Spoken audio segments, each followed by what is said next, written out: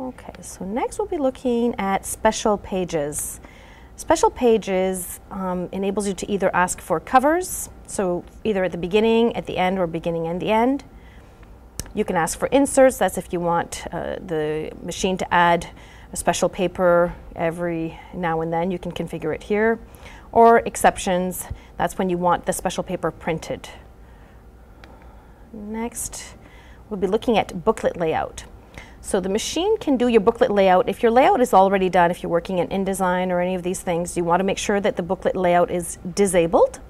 In this case, if we want, for example, if I have just a regular um, page setup in Word or what have you, I can enable it and the machine will transpose so we'll know, for example, that page 1 goes with page 12, page 2, so on and so forth. Okay, enable that. In booklet options, depending on whether you have a professional finisher or not, you may or may not have the option to fold or fold and staple your booklet as well. So this is where you come to add it in.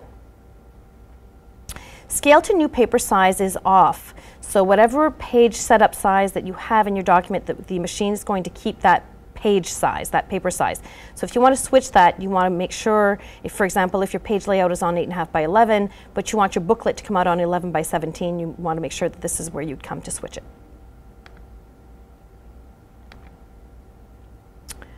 Um, what else do we have here? Well, that's essentially it here. If you want to find out where you're up to with your supplies levels, you can come here and just click on supplies levels. You'll see where you're up to with your toner, your drum cartridges, and whatnot. If you want to keep an eye on this, this is where you come. Otherwise, that's how you print to your multifunction device.